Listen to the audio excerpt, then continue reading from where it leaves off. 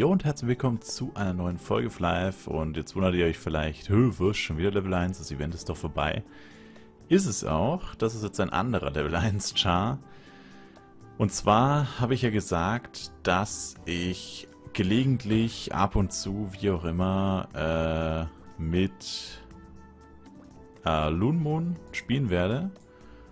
Und das ist jetzt so, ich habe kein automatisches Angreifen auf der 1 dass ich mir dafür einen neuen M mache. Ja? Also Lean Moon wird dann quasi wegfallen. Ähm, ich werde alles Geld, was sie hat, alles verkaufen, die gesamte Bank quasi einfach auf den Char hier rüber traden. ist natürlich schade, die hat noch ein paar segengebundene Items, aber ich meine, das ist jetzt nicht so schlimm.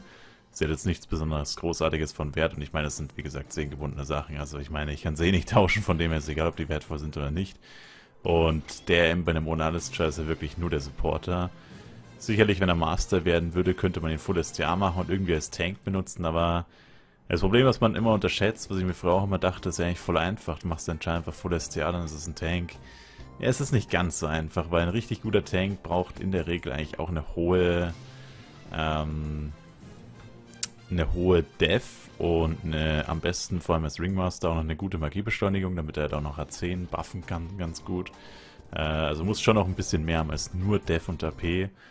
Und nur, äh, nur durch die STA kriegt man auch nicht so viel Dev tatsächlich. Also wenn man da kein Z plus 10 oder so hat und nicht noch äh, wirklich deutlich mehr STA und Dev erweckt oder so, dann hat man da nicht so gute Karten. Also nur die volle STA-Stattung reicht vielleicht für, für, kleine Dungeons und so reicht es auf jeden Fall, das ist keine Frage. Aber wenn man wirklich was tanken will, dann, naja, nicht so krass. Genau, aber ist ja egal, spielt hier gar keine Rolle. Ähm, ja, durch die Anfänger Random Box ist es auf jeden Fall absolut kein Problem. Durch das neue äh, Leveler-Leech-Verhältnis äh, von 24 Leveln ist auch das kein Problem. Also wir müssen den Charles gerade mal auf 52 ziehen. Und wundert euch jetzt nicht, dass ich mich mit Dela supporte. Ja, jetzt denkt sich vielleicht der eine oder andere, Hö, wenn es der ohne alles Sam ist, darfst du jetzt hier eigentlich nicht mit Dela supporten. Das Ding ist einfach, und das ist auch der Grund, warum ich den Char mache, Einerseits männlich für treue Level, wobei das jetzt nicht so eine große Rolle spielt tatsächlich, weil ich meine, das ist ein Char, auf dem ich mich nicht so oft einloggen werde, aber tatsächlich könnte ich dann noch das treue Level ein bisschen AFK leveln. Das Problem ist, der ohne alles Char, also Loon Moon, der ist ja von Folge, lasst mich nicht lügen, aber irgendwo im 300er, 200 300er Bereich oder irgendwie sowas. Auf jeden Fall ist es schon mindestens zweieinhalb bis drei Jahre her. Also es ist ein ziemlich alter Charakter von mir. Also relativ zumindest. Also es ist auch auf einem von meinen älteren Accounts. Und damals hatte ich halt nur fünf Accounts oder sechs Accounts und da habe ich ihn halt einfach neben Asumio gemacht, weil ich mir dachte, wenn ich mit dem ohne alles Char spiele, brauche ich ja Asumio nicht gleichzeitig online haben. Äh, brauche ich jetzt so gesehen theoretisch auch nicht unbedingt, aber da muss ich halt jedes Mal umloggen, kann ich in der Party bleiben, etc. etc. Also es ist halt einfach umständlicher für mich und wie gesagt, dann kommt noch das mit dem Treue-Level hinzu. Plus wir sind jetzt mit Lean Moon eh noch nicht so weit. Jetzt glaube ich Level 68 oder 69. Also das, spielt jetzt, also das ist jetzt kein großer Verlust. Vor allem, weil die ja eh immer nur mitgezogen wurde. Ich meine, allein in den letzten Videos vom Secret Drop Event, ihr habt es ja gesehen, die ist vier oder fünfmal gestorben. Also die hat irgendwie 20% bekommen und ist fünfmal gestorben, hat wieder 15% verloren oder 15 bis 18%. Also das war sowieso ein bisschen dämlich. Ähm, ja, also ich finde es jetzt nicht so schlimm. Wie gesagt, der Zeitaufwand ist jetzt nicht besonders groß. Sicherlich wird es ein, zwei, drei Stunden sowas dauern mit den plus 3er Schmuck, also den benutze ich zumindest. Aber es wird jetzt kein gigantischer Zeitaufwand. Jetzt ist eh kein Event mehr, das heißt, man hat sowieso viel Freizeit, sage ich mal. Also nichts wirklich zu tun. Und deswegen mache ich das einfach nebenbei während meinen Dungeon Runs und was ich halt sonst noch so mache jetzt und auch in meinem Urlaub wird es dann, sollte kein Event kommen, dann meine Hauptbeschäftigung sein wahrscheinlich, weil ich eh ein bisschen Bock drauf habe auf den Blade, weil ich spiele eigentlich gar kein Blade mehr, deswegen ist es eigentlich ganz lustig, dass jetzt mein ohne alles Char quasi die stärkste Klasse ist und alle meine anderen Klassen schwächere Klassen sind, obwohl ich die voll mit Geld, voll mit Geld pumpe. Äh, genau. Und ja, ich hoffe auf jeden Fall, ihr habt Bock drauf, ja. Wie gesagt, der M muss halt jetzt stehen, aber wie gesagt, mit den XR-MPs, also Level 52, ja, das ist, das sollte easy klappen, ja. Ich weiß nicht, ob ich dann Leech verwenden werde, jetzt erstmal habe ich mir keinen gemacht, weil es am Anfang immer so saudämlich ist, weil... Ich meine, gut, okay, der Level 1er Leech, der wird ja von Haus aus nicht mit, aber das war mir jetzt einfach zu blöd. Plus, ich habe tatsächlich, glaube ich, aktuell keinen Level 1 Char den ich dafür benutzen könnte. Die sind alle eigentlich verbucht, sage ich mal. Ich meine, natürlich, ich könnte jetzt einfach allgemeines Lager zum Beispiel benutzen, die ich vom Flausch-Event habe oder so. Aber ich will nicht, dass auszusehen doch mal irgendwo XP überspringen in dem Bereich. Ich meine, klar, ein Level 1er Leech kriegt eigentlich nie XP, erst ab Level 3 oder so. Aber ich will es nicht riskieren.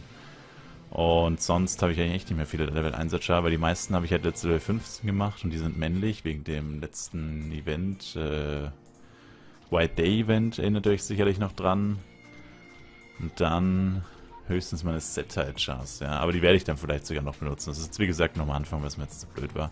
Und es jetzt schon wieder ziemlich spät geworden ist, leider. Weil ich noch so viel gerendert habe und während dem Rendern ist Aufnehmen immer schwierig, weil da geht CPU komplett RIP. Äh, genau. Aber ja, das ist jetzt quasi der Plan. Äh, morgen ist Feiertag für mich. 15.08. ist nicht überall in Bayern, aber in jeder katholischen Gemeinde ist heute Feiertag dann, also wenn ihr das Video seht. Und das heißt, ich werde es vielleicht sogar ein bisschen noch streamen. Das muss ich aber gucken, weil ich weiß nicht, wie ich zeitlich hinkomme. Und was ich sonst noch machen muss, weil ich will noch ein paar Sachen klären. Ich muss noch was für den Urlaub machen und so vorbereiten und vorproduzieren wollte ich auch ein bisschen. Jetzt schon anfangen, weil nicht, dass ich es dann zwei Tage vor dem Urlaub mache, weil ich meine, ich bin ja über... bin vom... Also 27. nachts fahren wir los, oder ah, spät abends, das wird mittags ankommen. Also natürlich mit Schlafpause zwischendurch, Safecore. Ich, also ich fahre jetzt keine elf Stunden im Auto durch, das dauert ich mal hardcore. Äh, genau, aber ja, auf jeden Fall bin ich da vom 27. bis zum 4. spätabends weg. Und dann werde ich sicherlich kein Video machen oder keine Videos machen. Also 5. Und ja, ich weiß nicht, da werde ich wahrscheinlich auch noch ziemlich fertig sein. Also wahrscheinlich frühestens am 6. September. Und das ist halt weit über eine Woche oder deutlich über eine Woche auf jeden Fall.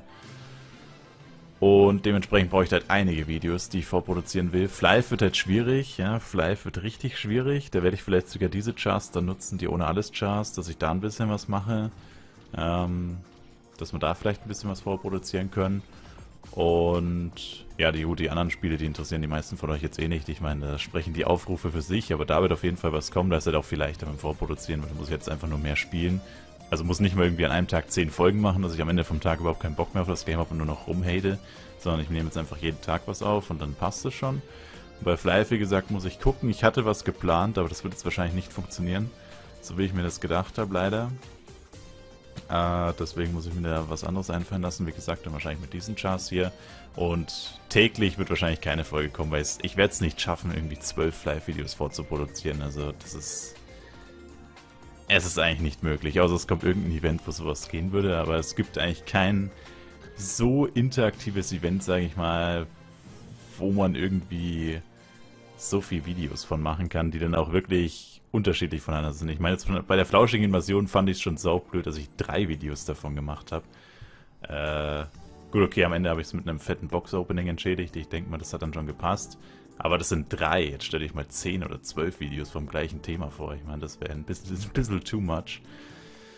Also direkt hintereinander halt auch. Ich meine, das muss es ja auch noch geben. Also ich meine, gleiches Thema und so, das hatten wir schon oft. Das lässt sich bei weit über 1000 Folgen schlecht vermeiden. Aber direkt hintereinander, das, das wie gesagt, das tue ich euch nicht an. Und dann, wie gesagt, muss ich halt gucken. Ich kaufe mir jetzt erstmal direkt Food, sonst vergesse ich das nachher noch. Ich werde ihm jetzt gar nicht so viel Zeug kaufen, also ich werde ihn jetzt einfach Raw irgendwie auf Level 52 leveln. Ich werde ihn auf Full STRs statten. Das Ding wird halt sein, was ist das richtig? Das Ding wird halt sein, ähm, ja, wobei, eigentlich nicht, weil wir uns die ganze Zeit voll supporten. Aber und stimmt, ich habe das vorhin gar nicht zu Ende erzählt, ne? Ähm, genau, warum ich mich jetzt mit Dela supporte, ist, ich weiß gar nicht, ich habe angefangen, gar nicht zu Ende erzählt, ne? Er spielt halt keine Rolle, weil Dela ist nicht in der Party, das heißt, ich gebe mir keine Seraph-Buffs. Das heißt, alle Buffs, die ich jetzt habe, hat Linmoon auch auf Level 20. Wobei Patience tatsächlich bin ich mir nicht hundertprozentig sicher, ich glaube das nicht, aber das gibt 210 HP und ich glaube auf niedrigster Stufe gibt es irgendwie 40 oder 50 oder so. Und sie hat es nicht mehr auf niedrigster Stufe, ich glaube sie hat sogar auf 11 oder 12. Also ich krieg 60 HP oder so. Oh mein Gott, das ist, das ist ungerechtfertigt. Oh mein Gott, also ich denke mal, das ist jetzt scheißegal, das wird niemanden interessieren. Ähm, weiß damals, ich hätte es damals einfach so machen sollen, anderer Account ist nicht auf Asumiao. Also äh, ich würde es euch auch empfehlen, macht niemals einen Nebenchar auf einem Account von einem Main, weil ihr wisst nie irgendwie, wann ihr den Char mal doch irgendwie anders verwendet. Und dann ärgert es einen halt einfach nur, wenn man es dann halt quasi sozusagen falsch gemacht hat. Weil, wenn ich den jetzt wirklich ein bisschen aktiver spiele, dann ist es halt einfach wirklich chillig. Du levelst zum Beispiel in Astria, aber wenn ich jetzt dann ein bisschen mehr spiele, dann gehe ich natürlich auch nach Astria und nicht mehr in den Drecks Tower. Erstens mal gibt er weniger XP, also Tower gibt er am wenigsten XP. Äh, und dann ist Astrid auch das mit den Akkus kein Problem mehr, also dass der M nicht 24-7 am Sterben ist. Ähm, das ist natürlich auch ein Vorteil. Und ja, aber auf jeden Fall werde ich halt äh, dann parallel quasi, wie gesagt, das mit den Dungeons Farm und so machen, muss nicht die ganze Zeit umloggen und spare mir da einfach erstens Nerven, Zeit, weil, äh, das ist übrigens eine Sache, die ich auch noch erwähnen wollte. Das hat mich bei der Flausching-Invasion sehr, sehr angekotzt. Das hatte ich schon seit längerem, also das habe ich eigentlich schon immer. Also nicht immer, immer, aber seit einem Jahr oder so, also seit ziemlich langer Zeit eigentlich. Ich weiß nicht, ob das bei euch auch so ist, aber wenn ihr euch auf einer Echse, also wenn ich mich auf einer Echse dreimal umlogge, passiert nichts, aber bei, immer beim vierten Umloggen, beim vierten Mal Passwort eingeben auf der gleichen Echse, habe ich diesen Einlog-Fehler, dass halt quasi der Char sich die ganze Zeit noch bewegt, da steht, gib niemals dein Passwort weiter, bla bla bla, aber du kommst niemals ins Spiel. Du kommst online für alle anderen ersichtlich, aber du bleibst für immer in dem Screen hängen. Und das habe ich jedes Mal, also ich könnte davon ein Beweisvideo machen, wenn ihr es mir nicht glaubt, aber ich bezweifle jetzt mal, dass das nötig sein wird. Ähm, wirklich bei jeder vierten Passworteingabe, weil ich habe halt immer von den Channel rumgeswitcht, von 4 auf 1 und dann wieder zurück, wenn ich mal einen guten Spot hatte, um mal zu schauen, ob es auch ein guter Spot ist, aber das war meistens Dark und 3 Wüste oder so und wenn man Glück hatte, war es mal auf einen Channel umgefarmt und auf dem anderen noch ganz gut, ganz okay, aber die meisten, also meistens hat es sich nicht rentiert umzuloggen, also kurz, kurz zu schauen, ist ja okay. Vom Zeitaufwand her, ich würde sagen, wir gehen gleich nach SM. Aber oh, ich sollte mir noch eine andere Waffe kaufen vielleicht. Äh, Kaufen wir mal 50 davon und dann kaufen wir noch schnell Knuckle und Shield.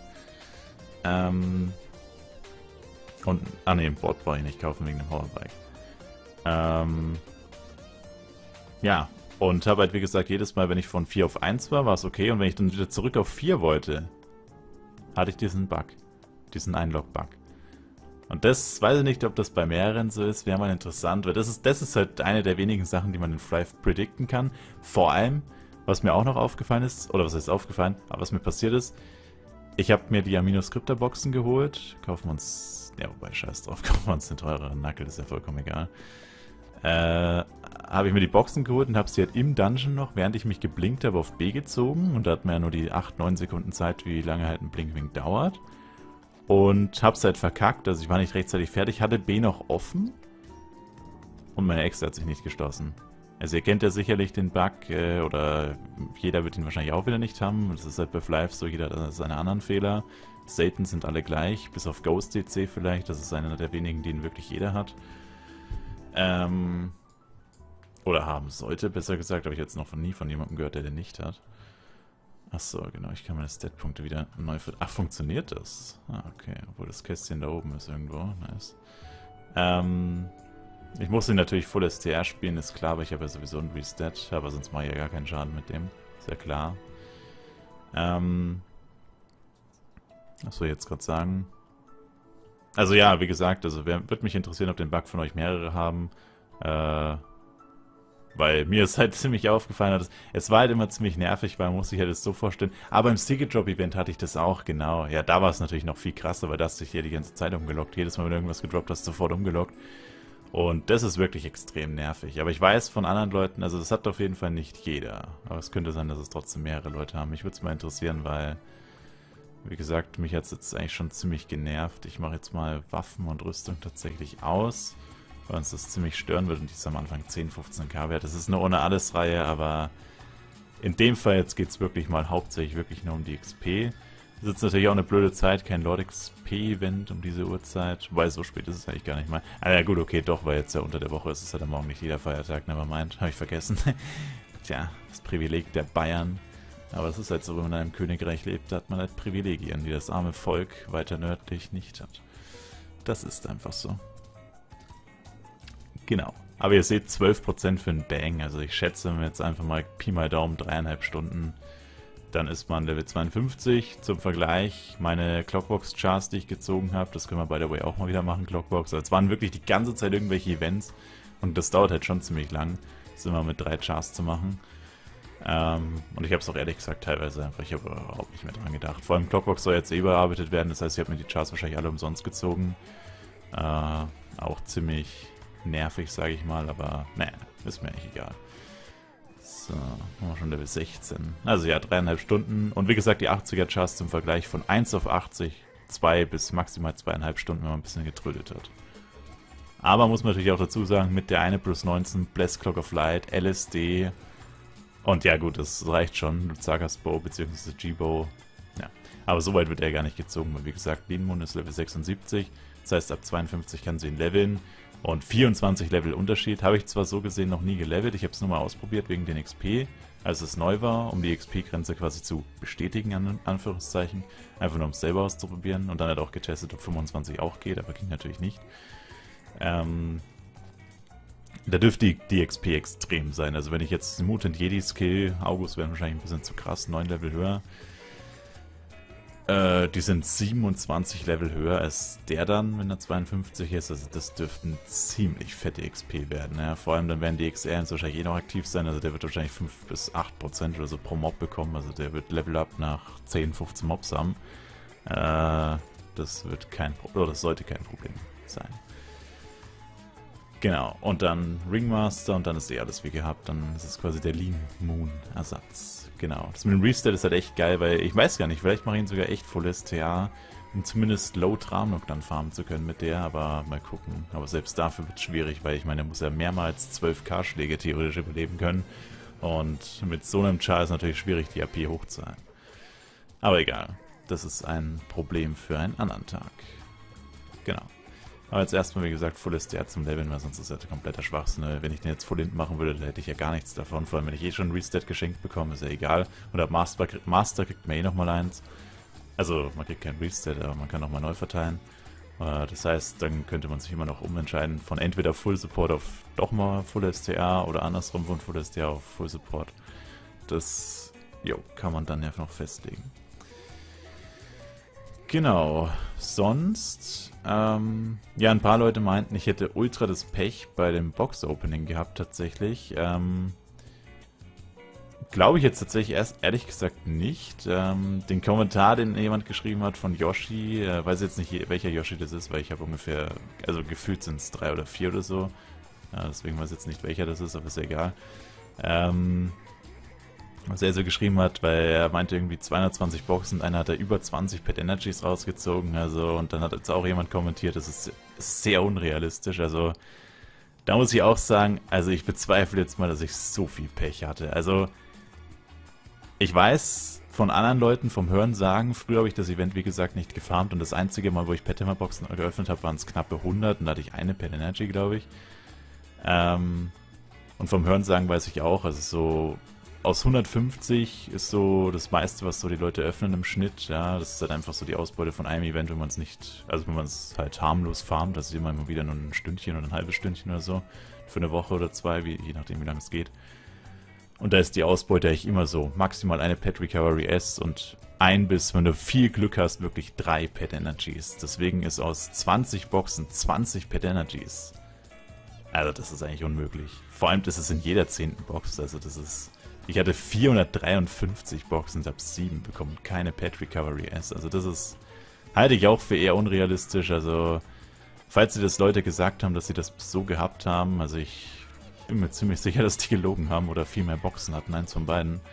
Das kann eigentlich nicht sein. Und wenn doch, dann... Gut, dann hatten sie wirklich... Also dann hatten sie ein Sechster im Lotto, weil das ist wirklich fast unmöglich, würde ich fast behaupten. Aber wie gesagt, ich bin jetzt sozusagen beim flauschigen Event eher Newbie. Das heißt, das dritte Mal, dass ich es überhaupt wirklich gefarmt habe. Davor, wenn überhaupt 10 Packages oder sonst was. Also, ja. Aber gut, ich meine, so viel gibt es da eigentlich nicht zu wissen. Ich meine, das Einzige, was man da wirklich äh, Erfahrung drin sammeln kann, ist Boxen öffnen und rausfinden, wie so die Chancen sind. Aber ich denke mal, aus 54 Boxen kann man auch schon ein bisschen was rauslesen, wie so die Chance ungefähr ist. Ja.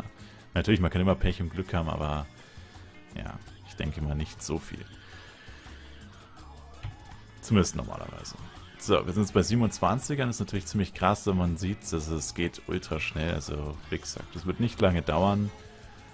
Und dann passt es auf jeden Fall. Mir fällt gerade auf, ich hätte jetzt schon treue Level starten können, aber es ist jetzt eh egal, weil ich sie gerade offline genommen habe, weil ich vorhin gemerkt habe, dass ich kurz mal einen Frame Drop hatte. Ich habe auch die ganze Zeit, ich habe auch 58 FPS andauernd. Das läuft heute nicht wirklich flüssig. Also wenn ich so schnell hin und her gehe, es geht die meiste Zeit, aber ab und zu ist mir so ein kleiner Hänger, aber ich weiß nicht, woran das liegt. Ich habe jetzt gerade sechs Echsen offen. Gut, okay, ich habe ein paar Browserfenster noch offen. Aber ist eigentlich beeinträchtigt sowas die Aufnahme nie. Also meistens habe ich sieben Echsen offen und da ist auch oft noch der Browser offen. Deswegen keine Ahnung, was da los ist, aber ich muss zugeben, mein PC war seit Freitag nicht mehr aus. Also, das stimmt nicht. Ich habe ihn zweimal neu gestartet, aber eigentlich läuft er seit Freitag fast durchgehend, weil meine Eltern sind tatsächlich im Urlaub, ja. Ich habe diese Woche sozusagen sturmfrei, bis auf meinen Bruder halt, aber das war beim letzten Mal, als ich sturmfrei hatte und den ersten 24-Stunden-Stream gemacht habe. Genauso, da war mein Bruder ja auch da. Ähm, Genau, aber ich habe ja damals beim 24-Stunden-Stream gesagt, es ist nicht sicher, ob sie tatsächlich farmen. Plus, ich muss diese Woche auch arbeiten. Also das heißt, der einzige Freitag, den ich diese Woche habe, ist eben der Feiertag. Und ich meine, es wäre Schwachsinn, einem Feiertag einen 24-Stunden-Stream zu machen. Und dann wäre es auch ganz normal an einem Wochenende gewesen. Das heißt, es hätte sich nichts unterschieden von dem, wo von dem Wochenende, wo wir es gemacht haben. Vor allem, weil man es ja eh nicht gemerkt hat, dass meine Eltern da waren. Ich meine, natürlich, es war nicht ganz so chillig, sag ich mal. Äh, weil du halt mit dem Wissen dann aus dem Zimmer gehst, ja, alle anderen wissen jetzt, dass du dir quasi 24 Stunden nur gezockt hast. Äh, ist auch nicht so geil und sich dann so cringe den Fragen zu unterziehen quasi, ja, und wie war es so, Suchti, also so natürlich nicht, aber gefühlt zumindest. Ja, ist natürlich auch nicht so geil. Also am besten ist halt natürlich immer, wenn man sowas einfach alleine ist. Äh, ganz klar. Aber hätte jetzt so viel keinen Unterschied gemacht und ja, keine Ahnung. Also es ist halt jetzt blöd gelaufen, sage ich mal, dass ich diese Woche nicht frei hätte, weil sonst wären natürlich viele Streams gekommen und so bei Sturmfrei. Aber da ich diese Woche halt einfach ganz normal arbeiten muss, habe ich davon jetzt sozusagen nicht viel. Aber ich meine, meine Eltern fahren ja nicht weg, damit ich die ganze Zeit durchsuchten kann und gar nicht mehr schlafe, quasi nur noch am Zocken bin, sondern die fahren ja weg, einfach nur, weil sie Urlaub machen wollen. Und nicht aus irgendwelchen anderen Gründen. Gut, okay, eine Pause von mir, weil ich den ganzen Tag daheim sitze, kann auch sein. Ja, aber stimmt gar nicht, ich bin den ganzen Tag, ganzen Tag auf der Arbeit, aber trotzdem. Ähm, genau. Ja. Aber wieso mein PC hat nicht mehr aus, weil ich habe halt einfach, ich habe halt einfach die ganze Zeit jetzt AFK-Shops offen gehabt, immer permanent und halt auch den Shop-Titel von Asimiao voranzubringen. Äh, weil es jetzt momentan eh nicht so heiß ist zum Glück. Also ihr habt es ja wahrscheinlich auch mit, also ich weiß nicht, wie es sonst in Deutschland ist. Ich, ich habe jetzt nicht so viel Kontakte außerhalb von Deutschland oder ich unterhalte mich meistens nicht über das Wetter. Äh, aber bei uns ist jetzt momentan ziemlich okay gewesen die letzten Tage. Also es ist schon war, also wenn man irgendwie fahr, also ich, wenn man nicht Fahrrad fährt oder so, dann schwitze ich danach schon wie Sau, weil es reicht auf 25 Grad bei Anstrengung, dass ich ziemlich stark, also ich schwitze allgemein extrem viel. Äh, unabhängig von dem, was ich mache. Also zum Beispiel jetzt sitze ich hier und ich klebe an meinem Stuhl, obwohl es in dem Zimmer nicht mal 25 Grad hat oder gerade mal 25 Grad vielleicht. Äh, es liegt einfach an mir, also ich schwitze einfach sehr viel. Aber die Temperaturen sind jetzt eigentlich voll runtergegangen geht eigentlich total klar.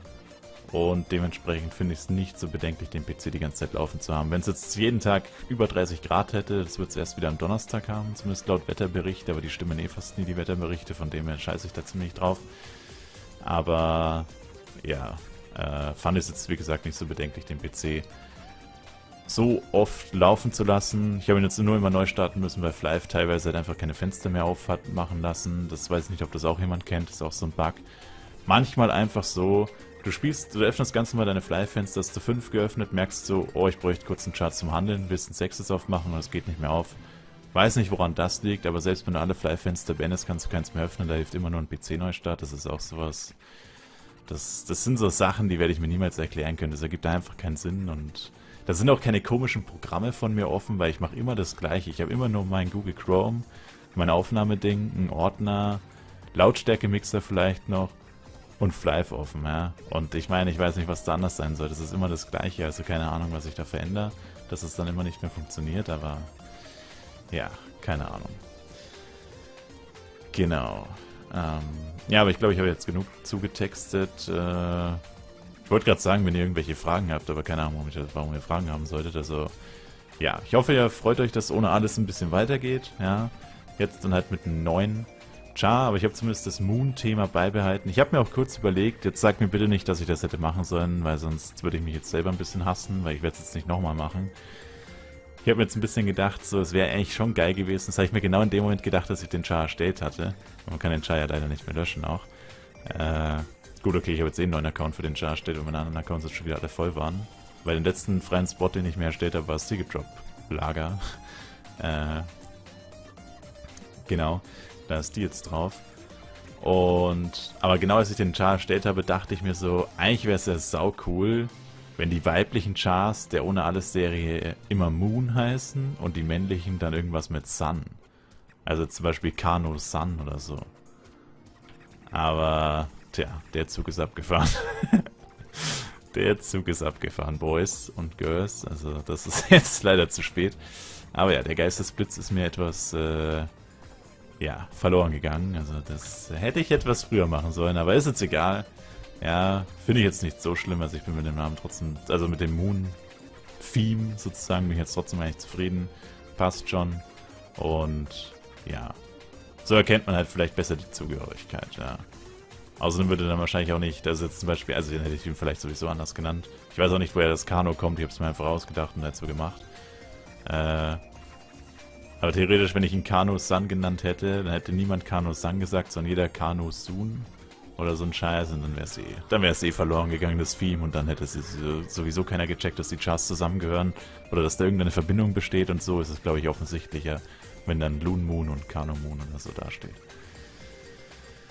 Genau. Aber ja, wir haben schon Level 24, also wie gesagt, ich denke mit meiner Schätzung werde ich ziemlich richtig liegen. Ähm, die Mobs sind ja nicht stark, also ich meine, selbst wenn du hier so lange brauchst, ich meine, wenn du 15% oder so einen Mob bekommst, dann, ich meine, juckt dich das nicht, ob du da 10 oder 20 Schläge für brauchst, also das ist kein Problemo. Das heißt, bevor ich morgen streame, wird der Char wahrscheinlich sogar 52 schon sein, vielleicht sogar Ringmaster, keine Ahnung, weil die Amplis, die laufen jetzt halt noch 23 Stunden, 33 Minuten. Also sprich, bis ich ins Bett gehe morgen, weil ich ja dann am Tag darauf wieder arbeiten muss, habe ich jetzt extra so gemacht, dass ich die auf jeden Fall nicht voll nutze, weil ich jetzt dann im Anschluss gleich schlafen werde, weil ich kann jetzt meinen Schlafrhythmus nicht wirklich verändern bei einem freien Tag.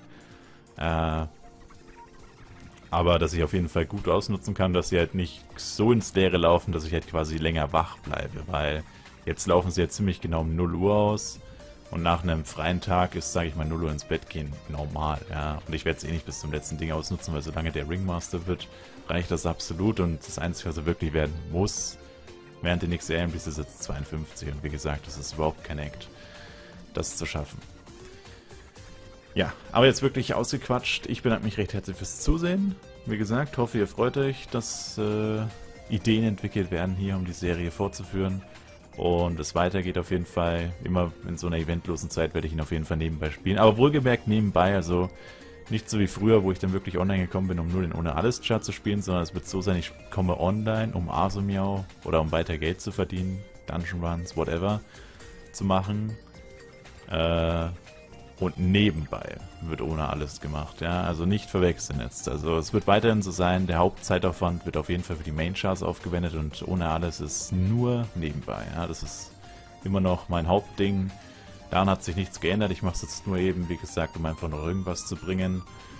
Und einfach mal zu schauen, wie es dann weitergeht, weil meine ohne alles Charts waren dann nie höher. Ich weiß nicht mehr ganz genau, welches Level Elemiau hatte, aber ich glaube, ich glaube, 81, 82, 83 irgendwie sowas. Das heißt, die hatte noch nie ein ohne alles Master Chart, ich noch nie zum Beispiel. Das wäre interessant, ob ich das mal schaffe. Oder ich meine, gut, schaffen ist relativ, weil ich meine, musste einfach nur leveln dafür.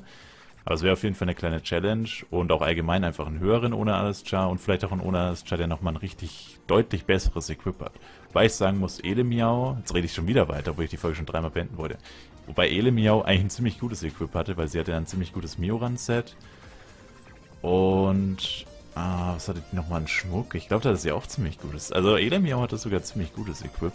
Im Vergleich jetzt zu Loonmoon, die hatte eigentlich nur die Luzaka-Swords und alles andere ist ja hm, hauptsächlich Schmuck plus 3, fast ein cleanes Rescon, nur ein bisschen gut erweckt und gut okay, einiges an CS, was jetzt doch ein bisschen Wert hat, aber gesamtes Equip kommt nicht mal auf 2 Milliarden wahrscheinlich, also mehr als bescheiden und allein das Set von Elemiau ist glaube ich easy, oder naja gut, 2 Milliarden auf Murano, aber 2 Milliarden für Devos Verhältnis ist der Equip locker wert, also von dem her, ja. aber schauen wir einfach mal, wie es weitergeht. Und wie gesagt, jetzt aber wirklich, ich bedanke mich recht herzlich fürs Zusehen. Macht's gut rein, bis zum nächsten Mal und ciao, ciao.